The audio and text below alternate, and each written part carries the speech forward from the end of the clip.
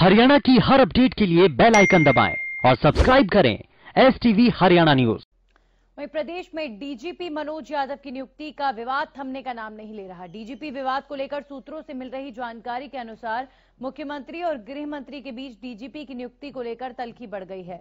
सूत्रों के अनुसार अनिल विज डीजीपी को बदलने की मांग पर अड़ गए हैं और नए डीजीपी की नियुक्ति की मांग कर रहे हैं, जबकि सीएम फ़िलहाल इसको लेकर सहमत नहीं है। आपको बता दें कि अनिल विज ने बीते दिनों गृह सचिव को चिट्ठी लिखकर डीजीपी का पैनल यूपीएससी को भेजने की मांग की थी। हालाँकि विज ने बताया कि उन्हें अभी तक गृह सचिव से इसका जवाब नहीं मिला है।